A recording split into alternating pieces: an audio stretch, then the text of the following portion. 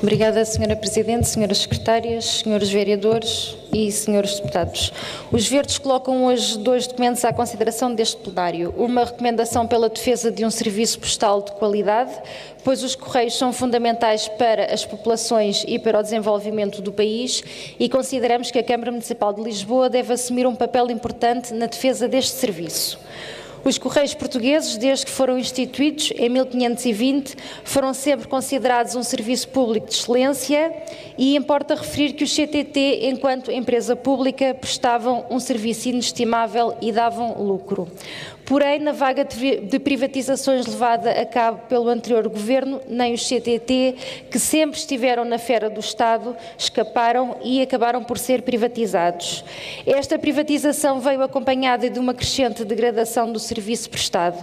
Os preços aumentaram, a distribuição foi entregue a outras empresas em regime de outsourcing, o correio não é distribuído todos os dias, várias estações encerraram, o tempo de espera para atendimento aumentou, houve vários despedimentos e a precariedade instalou-se no CTT. Não será por acaso que a empresa foi multada pela Anacom por não cumprir com o serviço a que é obrigada. Ou seja, o resultado desta privatização está à vista de todos e este erro deve ser corrigido. Por isso mesmo, os Verdes propõem que a Câmara Municipal defenda este serviço estratégico e os interesses e necessidades da população de Lisboa e que defenda, junto do Governo, que os CTT deverão regressar à esfera da administração central. Posição, aliás, já assumida por vários autarcas de diversas forças políticas. Apresentamos também uma recomendação no sentido da valorização e do reforço da educação ambiental nas escolas.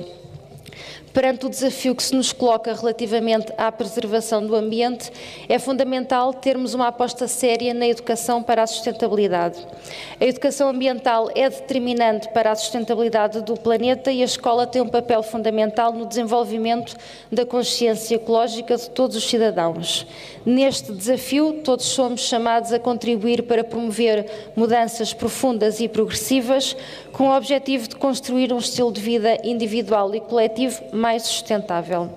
Pretendemos que as crianças adquiram conhecimentos ambientais e que sejam preparadas para o exercício de uma cidadania consciente e informada face às problemáticas ambientais atuais e os níveis do pré-escolar e do primeiro ciclo do ensino básico são os primeiros espaços privilegiados de aprendizagem. Por tudo isto, os Verdes propõem que a Câmara valorize e reforce a educação ambiental no ensino pré-escolar e no primeiro ciclo, em parceria com associações de defesa do ambiente e envolvendo toda a comunidade educativa. É um passo importante que importa aprofundar para ajudar as crianças a tomarem decisões ambientalmente mais sustentáveis e também ajudá-las a influenciar ações ambientais no seio das suas famílias. Nesta recomendação, propomos também a adesão do município ao programa Ecoescolas, que pretende encorajar ações e reconhecer o trabalho de qualidade desenvolvido pelas escolas no âmbito da educação ambiental para a sustentabilidade.